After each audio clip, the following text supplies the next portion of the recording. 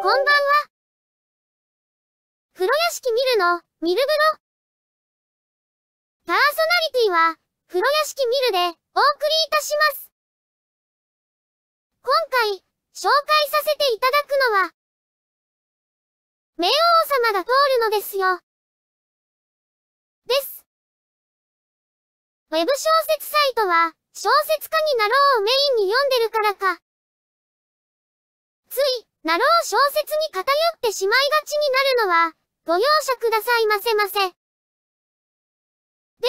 この作品のあらすじですが、高光、治は、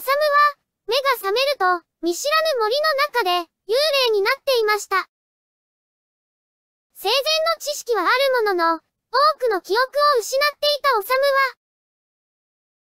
シュー、アークライトとして、救命の力で魔力を奪い、進化していきます。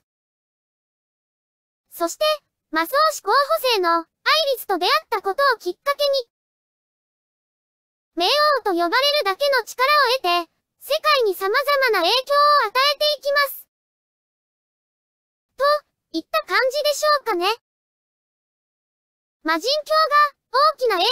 力を持ち、魔装という異能力がある世界で、恐れられている王の魔物に進化したシューは、アイリスと共に、人の姿で、人の世界に紛れ込みながら、謎多き協力者たちと手を組み、世界を滅亡へと導いていきますよ。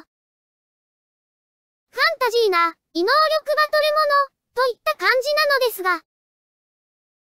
主人公や多くのキャラクターが殺されなければ不老不死のため、移動に数年、大きなイベントをまたぐと数十年と、タイムスパンがかなり長いので、ある意味、歴史ファンタジーとも言えるかもしれませんね。ちなみに、コミカライズが企画進行中だそうですので、